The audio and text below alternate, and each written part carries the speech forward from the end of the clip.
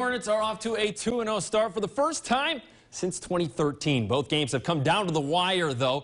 Could they make it three straight tonight at Gibbs? Carter QB Chandler Wilson starts things off right, hitting Caleb Harper over the middle, and he is off to the races, taking it 90 yards for the score. Point try would be no good, so it's 6-0. Ensuing possession, Gibbs QB Bryson Palmer. He's going to step up and hit Silas Williams for a good pickup.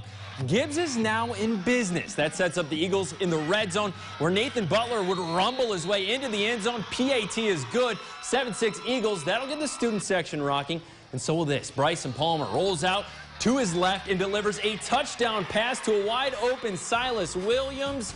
42-35 Carter. They're 3-0. Big win there. We'll be right back.